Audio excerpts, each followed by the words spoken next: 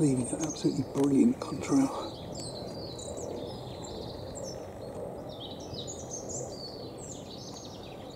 It's 41 times zoom. I'm going to stop filming the plane again and watch the contrail.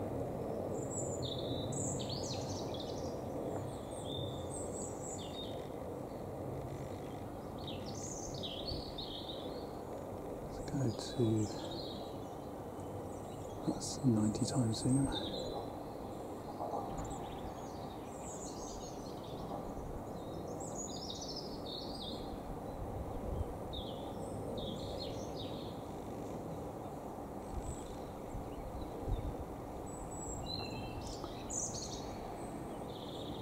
Going to zoom out a bit more so you can see the whole contrail.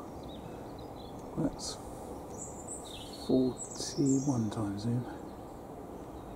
That's a beautiful contrail. Now this is interesting. I can see the other contrails filming in the previous video. I'll show you in a minute. So this is a Swiss Swiss airplane out of Zurich. I've got here that's heading roughly towards where Huntingdon is on the map. So that's that. It's probably an A340. I'll have to check. So A340 about to touch my tree there. And if I move the camera further north, there is a 747 contrail. Really distant, 90 times zero, just above the telegraph pole, so it's going to get markers for that. Anyway, that was excellent contrail if I say so myself, and really good engine noise as it went over my house. So, let's show you what that was. Right, so click on that. Come on. Uh, yes, it was an A340. That was Swiss. That's the flight number. Going from Zurich to Chicago.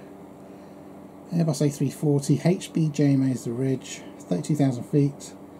395 knots, which is 455 miles an hour. And there's the hex code. And now let's quickly find the 747. And the 747, as you can see, is north of Peterborough. 747 is in another video. Look at my other video if you want to see that. I got a nice shot of that just before I filmed the Swiss aircraft. So this is the 747 information. Lovely jubbly. So two nice planes to see at the same time.